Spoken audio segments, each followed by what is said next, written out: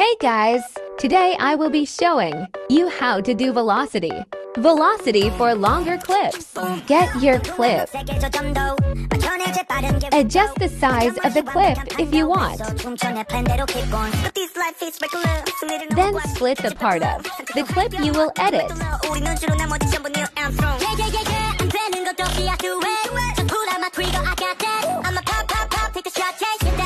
On your clip and go to speed, and then curve and click custom.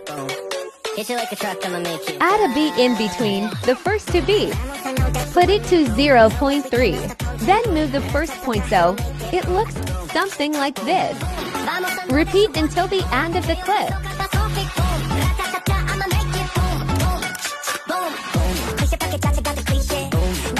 Click on Smooth Slow-Mo and then Better Quality. Finished look. Velocity for shorter clips. Again, go to speed and then curve. This time click on flashes. Make it this. After click on smooth slow-mo and then better quality. Shorten the clip back at its original length if needed. Then repeat this for the rest of your clips. Finished look. If you would also like Zoom, this is how to do Zoom. Add two keyframes at the start and the end. Zoom the clip in as much as you want at the end keyframe.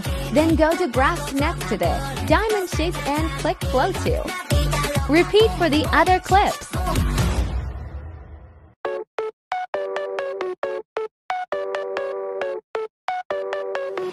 Finished clip. Thanks for watching and hope it helped. Bye.